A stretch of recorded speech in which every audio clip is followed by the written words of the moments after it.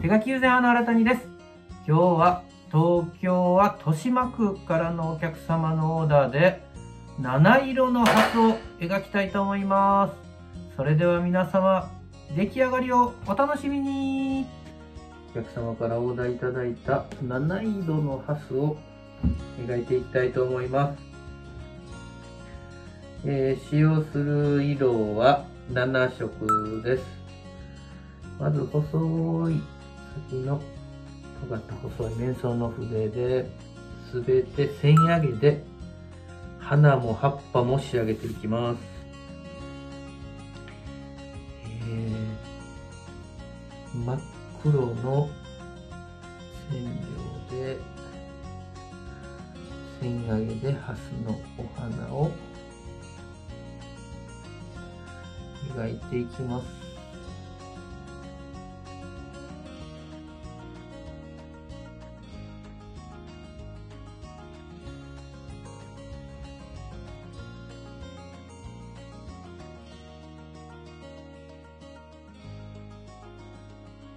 えーお花と葉っぱは、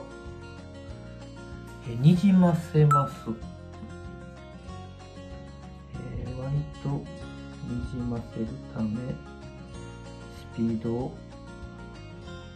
つけて描いていかないといけないですがスピードが遅いですこの2つを描いたに少しちょっとねにじませます。ところどころスプレーで水をかけてやります。そしてドライヤーで乾かしてやります。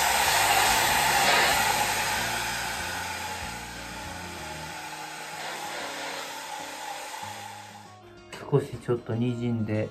泣いた感じがとても素敵です。でこの作業をお花が仕上がるまで繰り返します。どうかな？ちょっと上にずらして。よいしょ。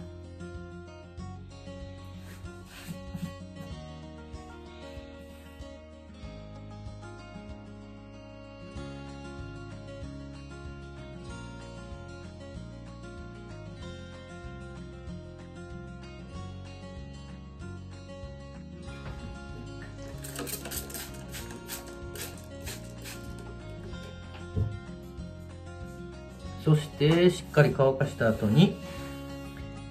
花の奥側に葉っぱがあるように、えー、ハスの大きな葉っぱをこれもまた線上げで仕上げていきます。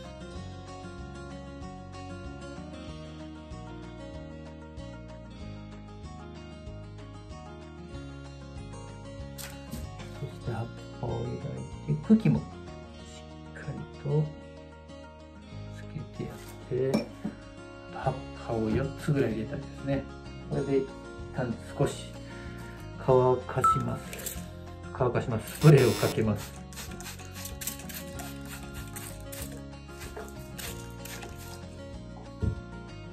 ハスの花は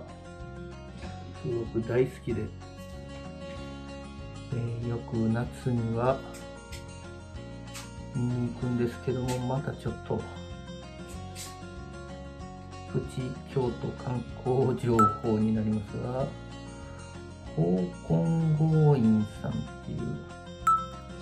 仏教寺院なんですけども、えー非常にハスの花が綺麗に咲きます、えーまあ、早朝にスの花は見に行くと綺麗に咲いているので朝早起きして調子がいい時は家族で見に行きます。起きれない時は諦めます。花園にあるんですけども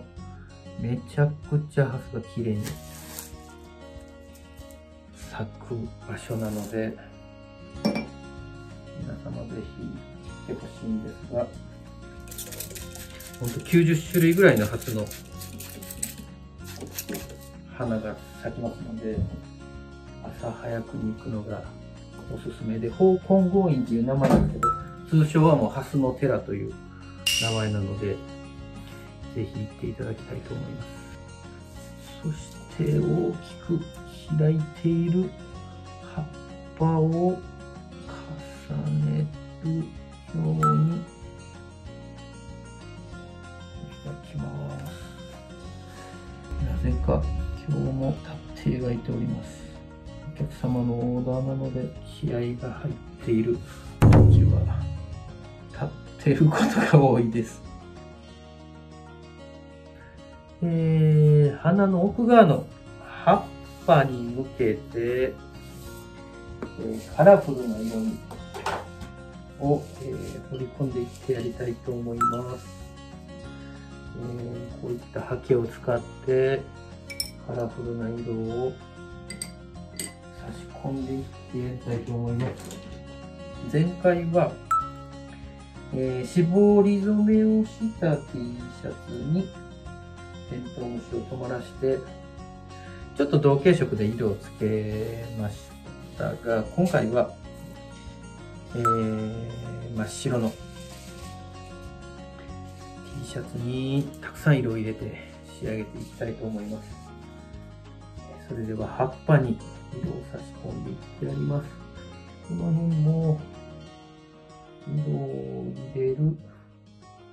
のですが、ちょっとこの辺はもう、差し込んでいく色味はどこに入れるかっていうのはもうちょっと感覚で、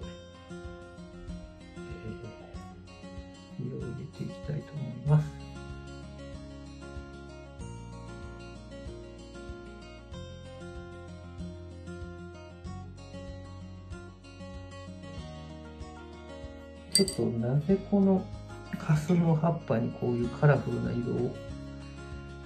入れようと思ったのかというのは ハスの花が、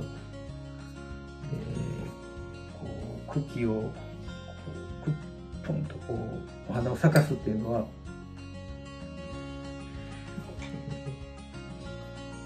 泥水の中から顔をの花が出しているので結構どう表現したらいいかな、えー、ど泥の中から綺麗な花が咲くっていうのがすごくなんか神秘的に感じたので、えー、葉っぱとお花にすごくこう明るいカラフルな色がかっている栄養分を泥の中から栄養分を吸ってこういうカラフルな美しいものになるという汚いって言ったかな。汚れた水から泥と水から栄養分を吸って美しい花を咲かす。そういうちょっと神秘的なところに魅力を感じるこのデザインを思いつきました。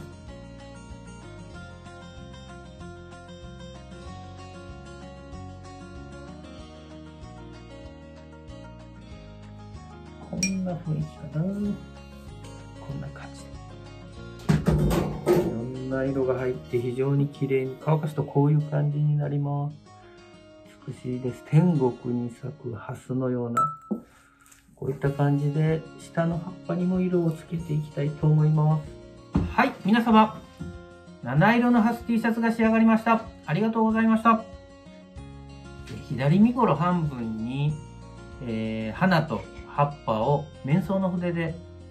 描きました。その後少しにじませてしっかり乾かした後にカラフルな色味を入れて綺麗に仕上げました、えー、前が結構柄がたくさん入ってるので、えー、左肩の後ろにはお花のつぼみと葉っぱを一つずつ描かせていただきました、えー、これから夏に向けて、え真っ白の T シャツに七色のハス。そしてパンツはカラフルな色味のパンツ。どの色味を持ってきていただいても綺麗に着こなせるので、この夏大活躍させてやってください。それではありがとうございました。